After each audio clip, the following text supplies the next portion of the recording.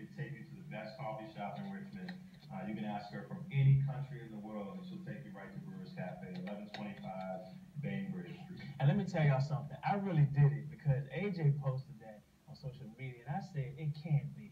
And I love Brewers Cafe, but I just said, how can you ask Siri? Like, we all use Siri. But I, on the low, I didn't even tell him. I asked, and I swear to y'all, it, it said, it took me to Brewers Cafe. Like, it took me to, gave me the address, the restaurant. I said, how much money did the brother spend?